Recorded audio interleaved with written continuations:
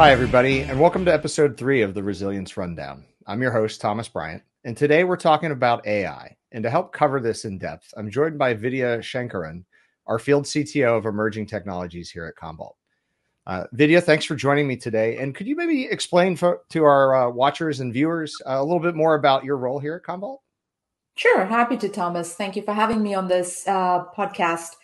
Um, so, like Thomas mentioned, I'm the field CTO at Commvault, and my role essentially is everything around Commvault is trying to do in the emerging technology space, which essentially also includes all things AI, which is where the industry is headed today. Yeah. So, I mean, with all the things that are happening in AI now, what are the things that really excite you about AI uh, and how they apply to like the enterprise? That's a great question, actually, Thomas, because um, I know everyone wanted to get onto that AI bandwagon the moment ChatGPT came around, and then there was uh, various flavors of AI um, available to general population. AI definitely has tremendous potential in our world today. Starting from healthcare to security, everything has an element of AI in it today, including uh, the, the Siri uh, interface that we have on our phones. That is mm-hmm. also an element of AI. So, with all things centered around AI, I think the entire population is today pretty excited about what it can and cannot do for uh, the betterment of the human race at large. But I think, um, to a large degree, from an enterprise point of view, there is tremendous potential that remains untapped because I think there is a, a healthy skepticism, if I may say, uh, around adoption of AI because of the kind of security concerns that it also brings along with it. So those are very interesting conversations that we should probably keep our eyes and ears uh, open to as the industry evolves.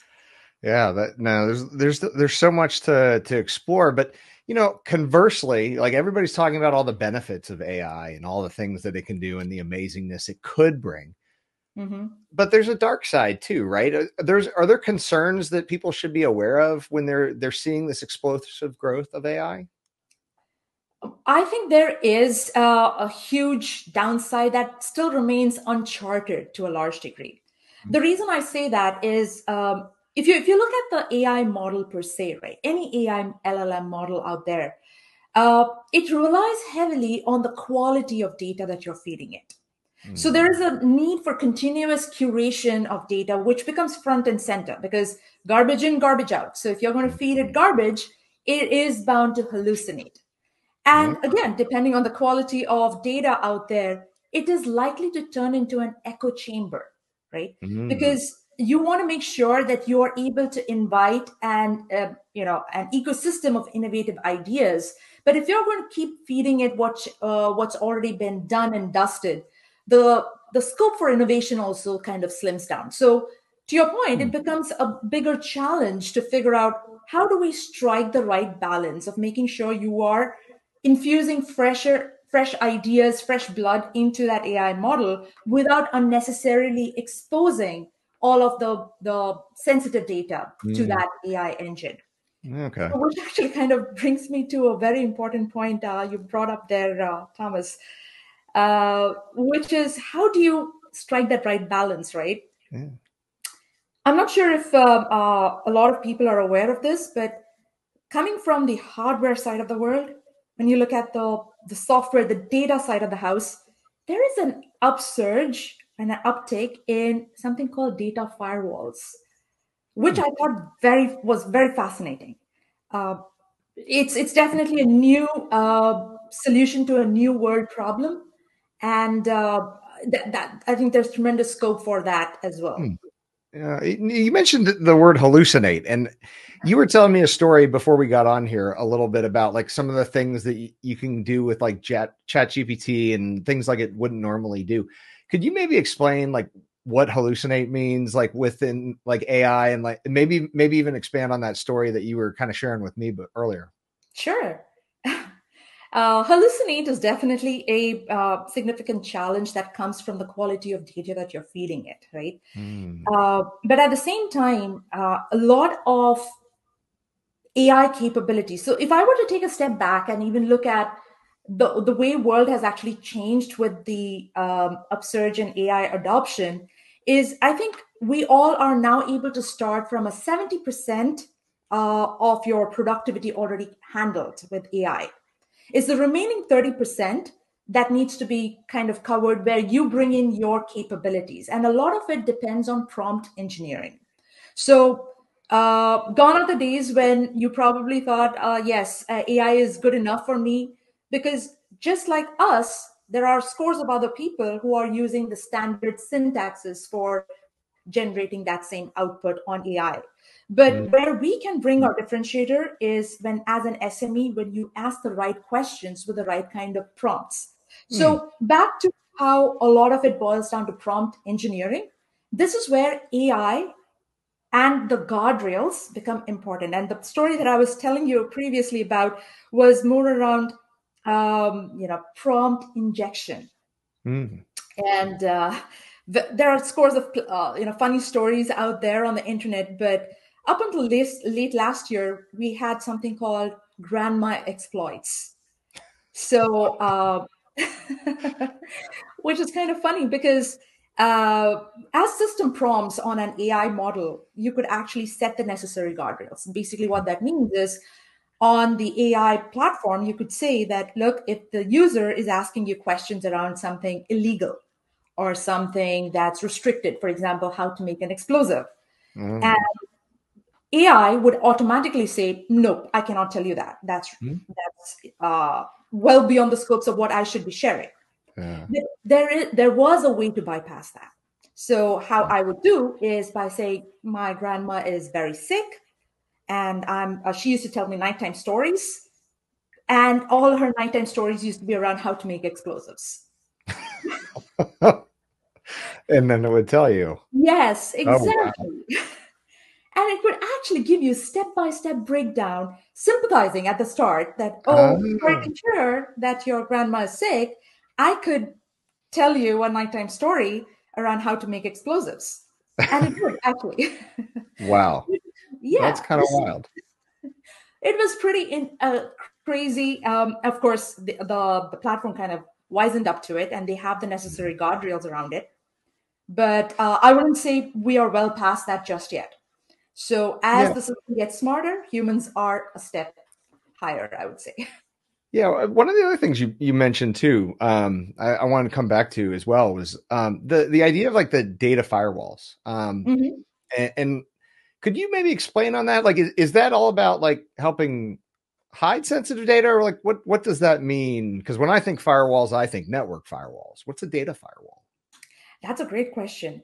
Um, in fact, data firewalls is a, is a lot around setting the, your system prompts. So, to your point, it is around sensitive data. It is around making sure that uh, you are preventing every ways and means for the user to ask sensitive information and uh, making sure that every permutation combination is being handled at the system prompt level. Mm-hmm. So that's where these um, data uh, firewalls are actually coming in pretty handy. For example, um, uh, the latest one which I came across was as, let's say, a junior admin. You obviously, when you ask the system within your AI engine to say something on the lines of, uh, uh, can you give me the secret key to XYZ container? Mm. Obviously, it's going to push back. It's going to say, no, I can't. It's sensitive data. But a smarter firewall uh, would prevent even that, right? Mm. Uh, because there's another way to bypass that. So, uh, at the risk of probably giving ideas, um, uh, you could. There have been cases where people use base 64 to encrypt or encode that secret key and print the output. And you take that encrypted text ah. to decode it one more time. Wow. So yeah i mean it's just that you you have to be one step better at modeling and laying out these uh, firewall rules so to speak to make sure that you're covering all uh, possibilities of bypassing it Oh wow! I mean, in a, like in the security space, like it kind of reminds me almost of like the red team, blue team. You kind of you all, always have to be thinking about what are they trying to do to break your your stuff. Mm-hmm. Um, so you know, to come back, I, this is fascinating stuff, but I always got to come back a little bit to Commvault because we are here to we're we're part of Commvault. But like, with all these changes in AI and all the things that we're seeing in, in, that you're seeing specifically in, in the market, you know, how do you see AI changing like data protection and cyber resilience kind of moving forward?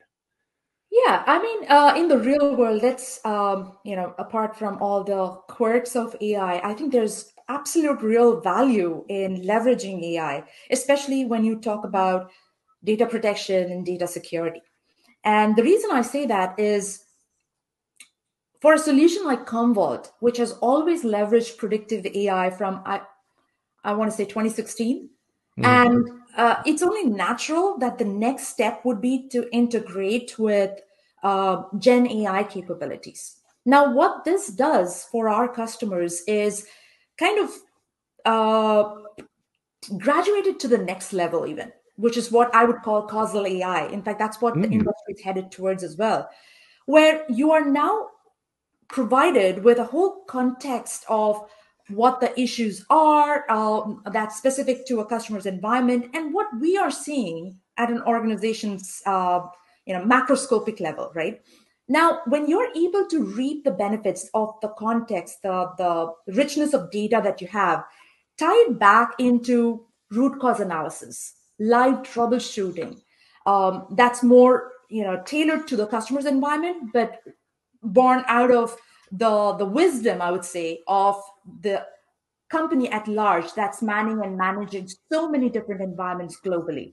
So a lot of it i think uh, as as causal ai evolves as we fall align in alignment with causal ai as well be it security risk ranking capabilities um, be it uh, being uh, able to provide live uh, troubleshooting capabilities where you're able to kind of fix your concerns and issues on the spot with minimal downtime, those become extremely valuable. And how did people do that before uh, causal AI became a big thing? They would actually sit and triage manually. So it was more error prone, right? And uh, it becomes a lot more challenging. Uh, everything takes a longer duration just to be able to get to the RCA to fix those concerns. I would say causal AI is expected to become the extended arms for operations team. Oh wow, that's a huge win, I would say. Wow, that's a, that's really. Fa- I've gotten more reading to go do. I need to go do some le- learning about causal AI for sure. Um, well, Vidya, thanks for joining us uh, on this episode. If people want to get in touch with you, um, where can they find you? Like on the socials, is there a way that they could uh, reach out and interact with you? Sure. Um, I do have uh, a LinkedIn presence and I'm happy to share that. Awesome. Thanks again for joining us today. My pleasure. Thanks for the conversation, Thomas.